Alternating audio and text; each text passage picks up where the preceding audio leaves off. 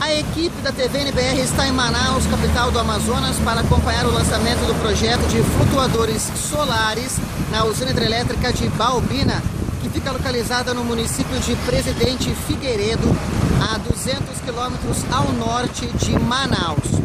A usina hidrelétrica de Balbina vai receber essa estrutura de flutuadores solares numa composição sob o lago da usina de 60 metros quadrados. Na semana que vem, a usina hidrelétrica de Sobradinho, na Bahia, também vai receber o mesmo experimento. A ideia de utilizar os flutuadores solares para captação solar nas usinas hidrelétricas deriva do fato de que a estrutura das usinas hidrelétricas podem ser utilizadas para escoar essa energia produzida. Até 2019 vão ser investidos nos experimentos quase 100 milhões de reais. E a meta é que os dois experimentos gerem uma energia equivalente a 10 megawatts.